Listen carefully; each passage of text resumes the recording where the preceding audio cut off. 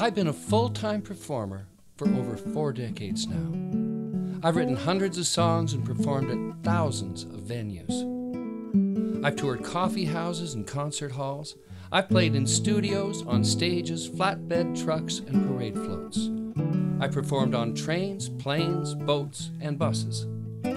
I've sang around campfires and on street corners, in gondolas, grange halls, and atriums.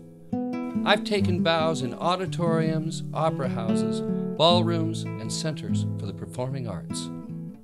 After all this time, it's exciting to find that I'm still evolving as an artist and musician, still discovering amazing and profound truths about music, its potency, its power to engage people and effect change.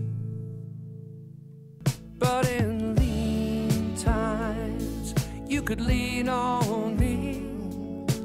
When your world is troubled, I'd be as near as I could be.